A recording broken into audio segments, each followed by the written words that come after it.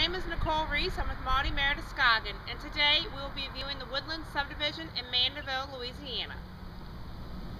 The Woodlands is a private gated community featuring 373 single family homes located in Mandeville, Louisiana. With its centralized location, the Woodlands is in close proximity to banking, shopping, restaurants, recreational facilities, award winning schools, a convenient I 12 interchange, as well as being just a short distance to the Causeway Bridge for those commuting to the south shore of Lake Pontchartrain. Homes in the woodlands feature traditional and French provincial architecture and average in size from 1,700 to 4,000 square feet of living space.